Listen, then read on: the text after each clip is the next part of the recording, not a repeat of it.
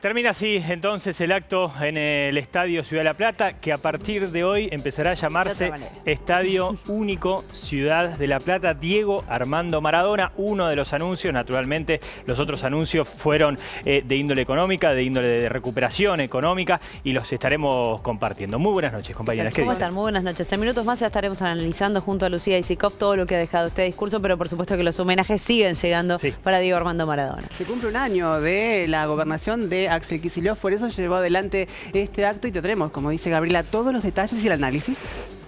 El acto se extendió por más de una hora y media. Primero contó con la exposición de la vicegobernadora de la provincia de Buenos Aires, Verónica Magario.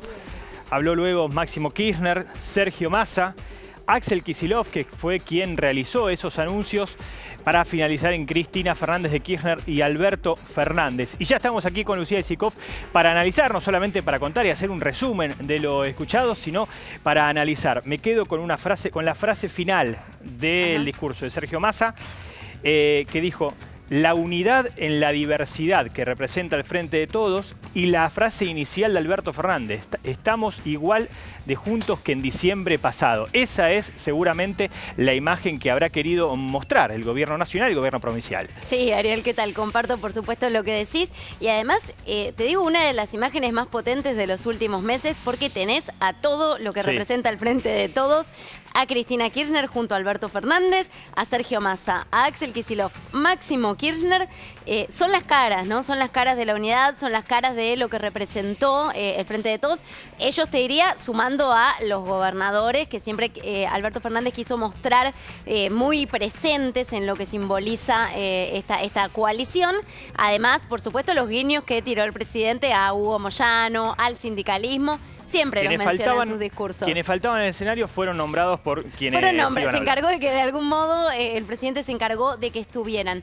Pero bueno, y ahí la vemos por supuesto a Cristina que eh, con, con, un apoyo muy importante a Axel Kisilov, sabemos que la base electoral además de Cristina Kirchner está en el conurbano bonaerense y ella habló mucho de la, gestión de Axel Kisilov, pero también un apoyo muy importante, sin dudas estando allí, ¿no? Al presidente y todos se encargaron de hablar de la gestión de Kisilov porque para eso estaban. Claro se estaba el, motivo del acto fue conmemorar eh, el año de Y los anuncios están relacionados a la provincia de Buenos Y los anuncios, bueno, si querés vamos a los anuncios porque dice Kisilov, eh, escuela, comida, techo resolver lo que preocupa a la gente. Y los anuncios fueron en, esa, en, esa, en ese orden, ¿no? 11 mil millones de pesos para infraestructura escolar, anunció Axel Kisilov. Eh, se duplicará la ayuda a comedores en diciembre, ahí vamos con el tema alimenticio que tanta falta hace en la provincia de Buenos Aires. Y regularizar los barrios privados, ahí tenés techo. Él dijo escuela, comida, techo, resolver los problemas principales, los problemas que preocupan eh, a la gente. Después, por supuesto, este anuncio, si querés, más de que tiene ahí una mística cuando, cuando dice que van a rebautizar al Estadio Único de La Plata, allí donde se estaba llevando a cabo el acto, como Estadio Único de la Ciudad de La Plata, Diego Armando Maradona, y va a tener una tribuna también para eh, Alejandro Sabela, así que hizo como el, el, anuncio más de color de la jornada, pero lo principal, el foco puesto en eh, el tema escolar, en el tema del alimento, en el conurbano bonaerense, donde hace falta, y el techo, techo, comida, escuelas. Esos son los anuncios de Axel Kicillof. Temario a tener en cuenta para próximos días, si nos guiamos por lo que dijo Cristina Fernández de Kirchner, habló de pensar un nuevo sistema articulado de salud. Habrá que empezar a, escuchar o a, averiguar hacia dónde puede eh, surgir esa idea de nuevo sistema de salud.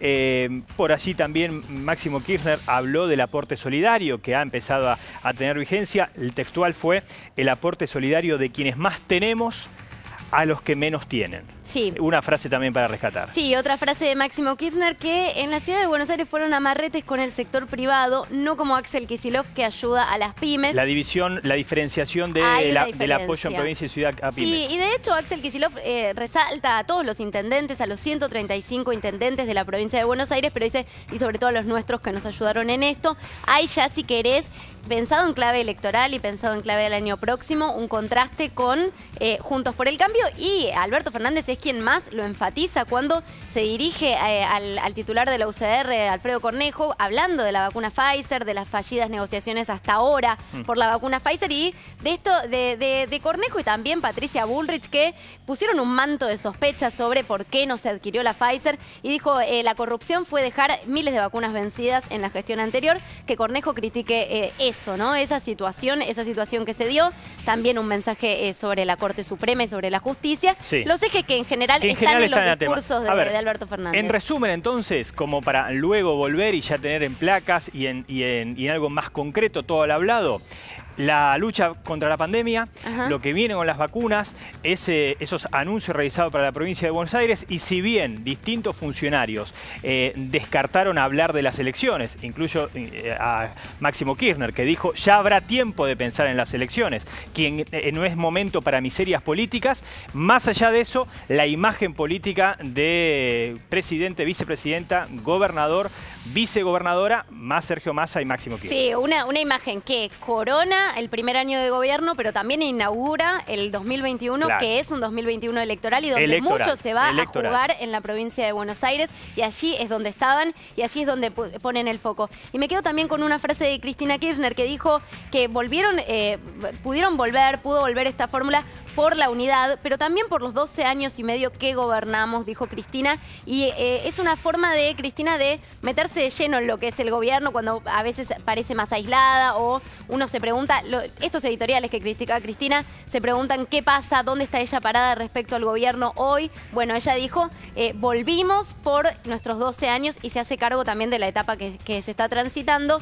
Así que yo creo que en este, en este sentido, una Cristina que no ve margen hoy en día para otra cosa, que apoya de lleno al gobierno de Alberto y así lo dejó ver, así lo dejó ver en la foto, pese a las diferencias, y vos lo marcabas en una frase de, masa, cuando habla de pese a las diferencias, acá estamos, ¿no? Unidad en la diversidad. Sí. Unidad en la diversidad. Creo que también se va a apostar a eso para la próxima campaña, ¿no? A una campaña más de, target distinto, porque es, es a lo que apostó el Frente de Todos para, para que Alberto Fernández pudiera ganar. Es que justamente eso, otra manera de denominar la coalición, ¿no? Vamos a volver. Lucía,